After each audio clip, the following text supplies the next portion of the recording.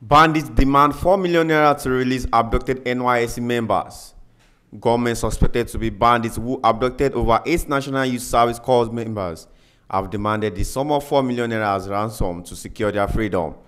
The terrorists were reported to have kidnapped the 8 Corps members along a highway within Zamfara state last Friday.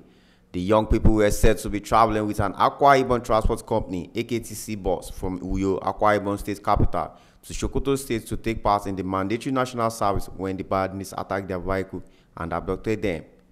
The father of one of the kidnapped victims, Emmanuel Eket, said through a telephone interview that his daughter, Glory Thomas, had been giving them updates on the latest developments in the bandits' camps. He said the bandits phoned with a number to inform him about the abduction of his daughter and asked him to pay 4 million naira ransom for the release of his daughter, Araromi Olaide, reporting from Wisdom Yard Television.